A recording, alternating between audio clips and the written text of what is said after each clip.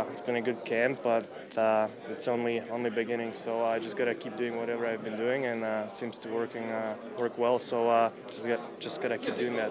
Is this a nervous time, nerve wracking, or with your experience, you kind of, you know, been there and you, you sort of know how to manage or handle everything?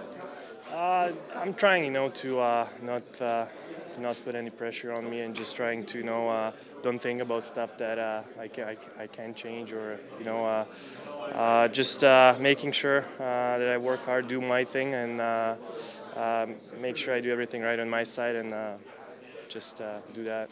We should ask, even though someone was saying, so I've known, I mean, during your career, we've known you as Jurco, but do you prefer a different pronunciation, or what's what's best for you?